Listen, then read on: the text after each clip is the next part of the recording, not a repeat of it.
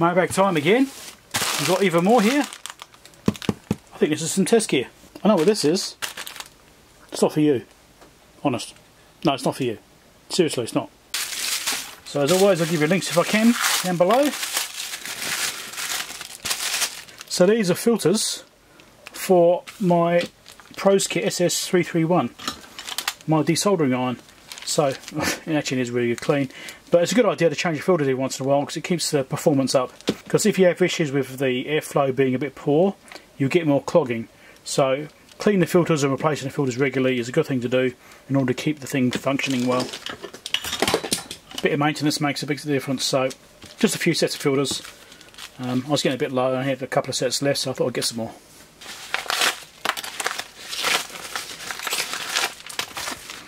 Use real knife.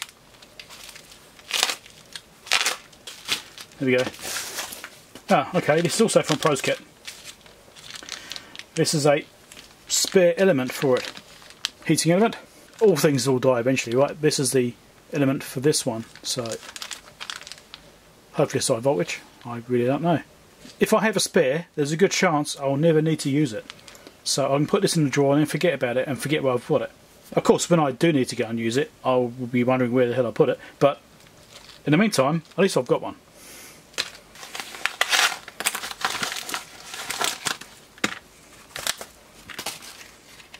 Bulbs, which have been awfully squashed. Hope they're not broken.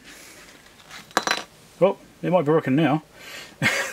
These are just oven bulbs, 250 volt or 240 volt bulbs um, E13 I think they are, yeah I think they're E13 so these are rated for 300 degrees C. So for your like oven light inside your oven. I replaced one about a year ago and it blew again and um, replaced again a few weeks ago. So I thought I'd better get some more bulbs because I'd run out. Had no spares left. Of course you can buy it from a local shop and that sort of stuff. You go to like I don't know some place that does bulbs and you can probably buy them off the shelf. But I was in AliExpress so I thought I'd buy some from there why not? Saves you a trip to the shop. It's probably cheaper too. Now this is not for you.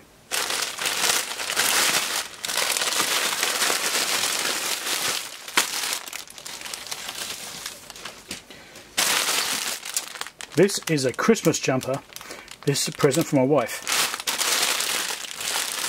By the Prodigy. Limited number, now I did 500 of these. There's only 500 available. They're all gone. And I bought one for her. So now I've got a medium, it might be the wrong size, I know she normally takes a small, but I'm thinking it's, you know, winter clothing, usually put multiple layers, you could have like a couple of tops underneath the jumper, sort of thing she would do. So I thought I'll get the next size up and play it safe. I'd rather have one which is a little bit big and baggy than one which doesn't fit her. Mm, yeah, you know. The only thing is, in New Zealand, this is a jumper for Christmas. Here in New Zealand, Christmas is in summertime. So it gets quite hot. Now we're usually having the air conditioning running to try and stay cool in summertime and in Christmas time. It, it's very, very backwards, I suppose. It's opposite of Europe where it's cold and maybe snowing at Christmas, depending on where you are. certainly cold, probably raining. In New Zealand it's a bit weird to have a Christmas jumper in summer, but my wife feels the cold and she may actually appreciate it in Christmas time. I, I don't know, maybe she will. Don't tell her I bought it for her, okay? It's a secret between you and me. Don't tell her. Another item, let's have a look at this.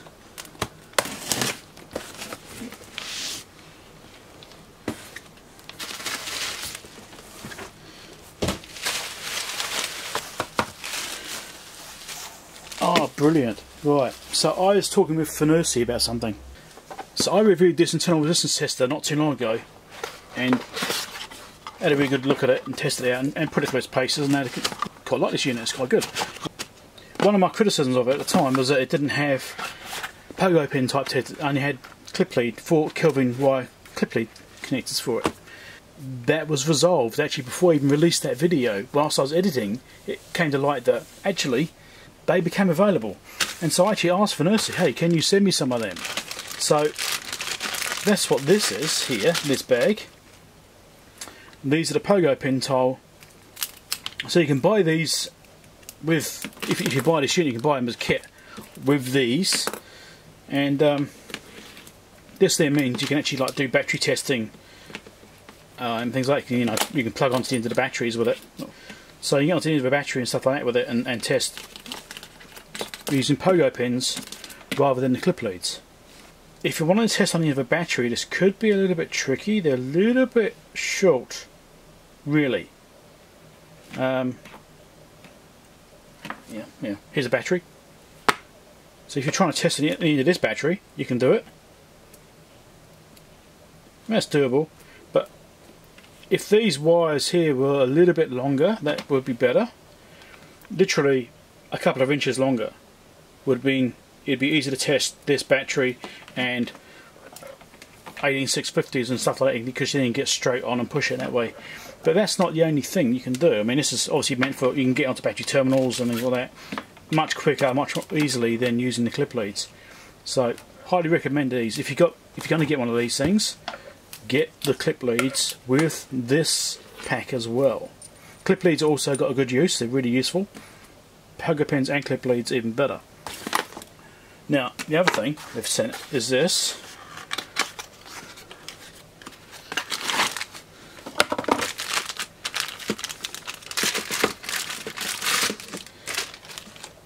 Which is the battery jig for it. And also you can adjust the length, so if you want to test different batteries, you can just move it closer. If you want to test batteries with this, you can stick them in the jig, like that. And once you've got the, the length set, you could just change the battery out, stick another one in. That's the idea of this. So that's really nice. So they sent me both of those because I asked for those. And it's actually even got markings on here. AAA, AA. And the other thing they sent me is this. It's a DWS 200. This is something I specifically asked for. As well as those, of course. So this is a soldering iron. Well, soldering station. It's probably more accurate. base there. The actual soldering station.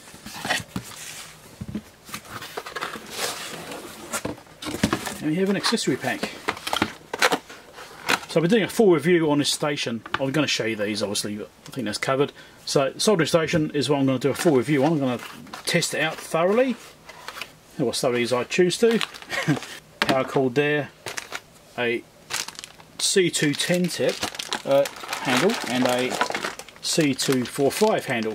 Now C245 is what I've got already on my Jabe soldering station over here. So I've got interchangeable bits there really. That's two tens bits. Mm. Nice. Got accessory kit there. Get these helping hand attachments. Some other bits. Okay, cool. So I'll be doing a full review on this. So I'm going to try and pack all this back in the box and watch out for that review coming out either before you see this video or after it. I'm not quite sure.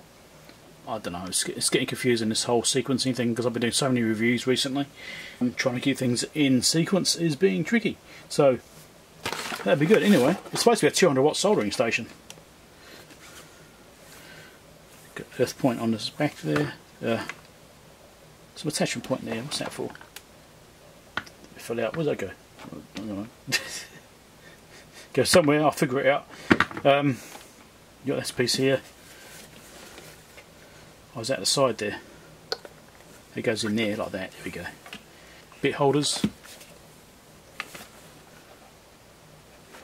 Rear power switch. I'm not a fan of rear power switches, but on something like this, it's not actually hard to get to it. You can just reach over and do it.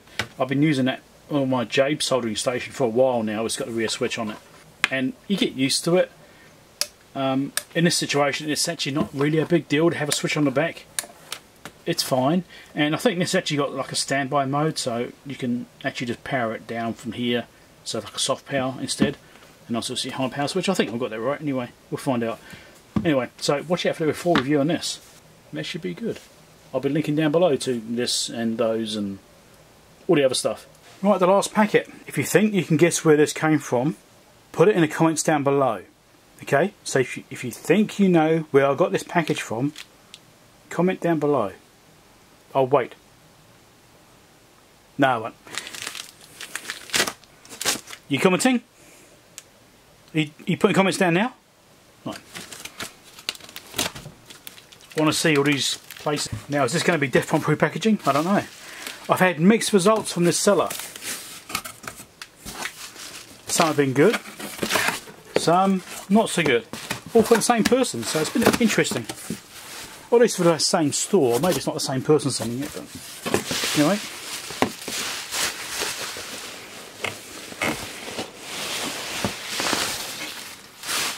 Is this bomb proof? Uh, maybe. Let's move this out of the way.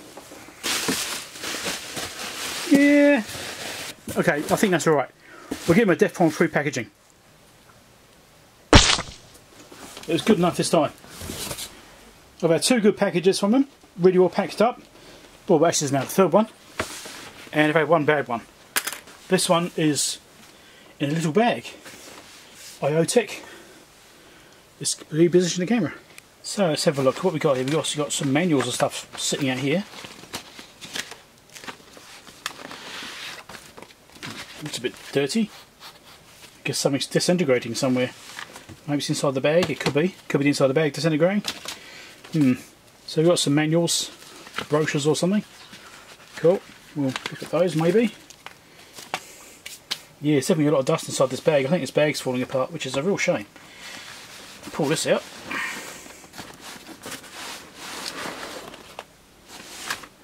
We've got a actual book.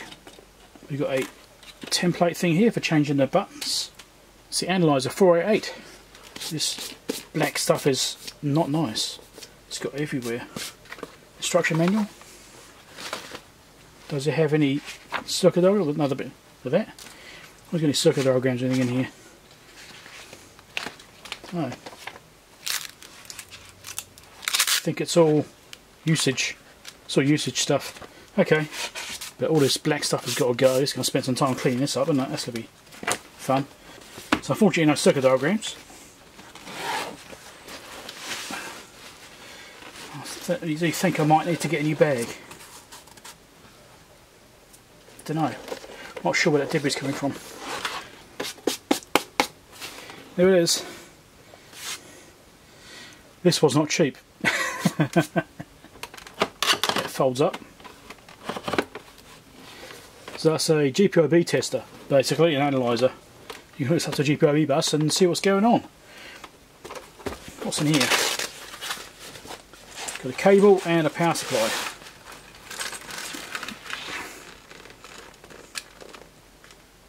C&M 26AWG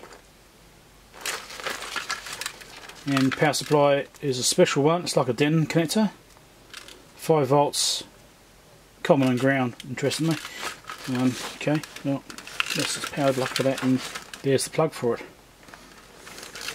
Right, so I'm not going to power this up right now. Starting because I need to convert this thing to the right voltage, well maybe. Um, it's 117 volts only, 25 watt. Probably just transformer in there, so I can probably just swap that out. I don't know, we'll see how lucky I get with that, but I'll look at that another time. It's there, it's all this stuff here, that's disintegrating. Lovely. Another tool to play with for diagnosing GPIB systems. But I need to obviously give this thing a, a good clean up and sort it all out. But yeah, it's a shame about the bag. The bag's falling apart. It means I need to find another bag for it. Shouldn't be too hard. Get a small laptop bag, should be good enough.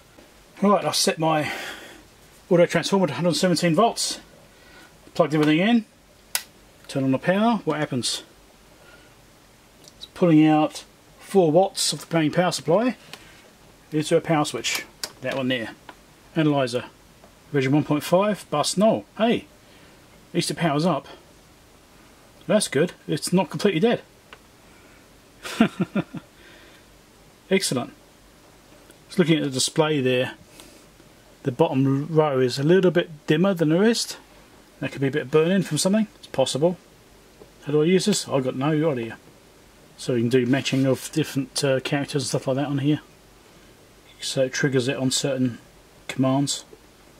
Anyway, it seems to power up at least. That's a good start. I might do a video about this later on, we'll see. I've got to figure out to use the thing first. Lots of black powder to clean up. Uh, yeah, okay. other videos down below to watch. There's other stuff down there you can watch if it might interest you. You can click here to subscribe to the channel. Want to watch and see more of my things, my repairs and things like that. Electronic subject stuff. And there's a Patreon support link over there. If you want to become a Patreon supporter and support the channel. Um, you can also support the channel other ways. You can just like click on the share button down there, or even just the thanks button if you want to give a one-off donation. Patreon supporters get access to extra information. They see the videos before everybody else, and they also get things like service manuals and manuals, whatever I can put on the Patreon links when I publish videos. They get a few extras like that. YouTube members, unfortunately, don't get the same benefits because it doesn't offer that ability to do that. Unfortunately, YouTube members still get you know uh, pre-releases, but they don't get the extra stuff like the manuals and what have you. That's only available through Patreon, unfortunately. So if you're going to do anything, I recommend Patreon. Good luck.